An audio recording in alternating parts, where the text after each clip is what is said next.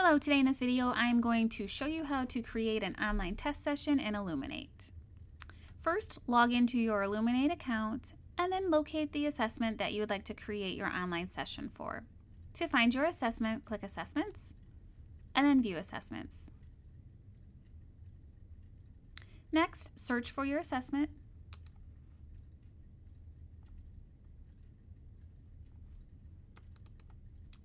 Click on your assessment to open and then select Administer. You can choose the Administer button that's under the check or in the upper right, which is under your control panel. Once you select Administer, then choose Online Testing.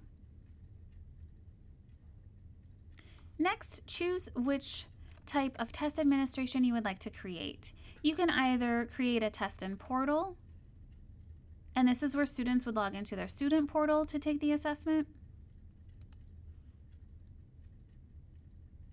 You can set up a test with QuickCode. In this type of assessment, an access code will be created and students can log into an Illuminate online link and enter that access code to take the assessment. Or you can post directly to Google Classroom.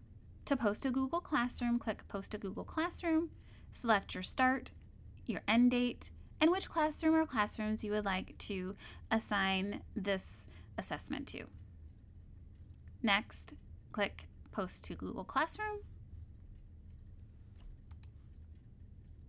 And then that assessment will be posted to your classroom. You can also post a Google Classroom from the Administer page on the Post to Google Classroom link.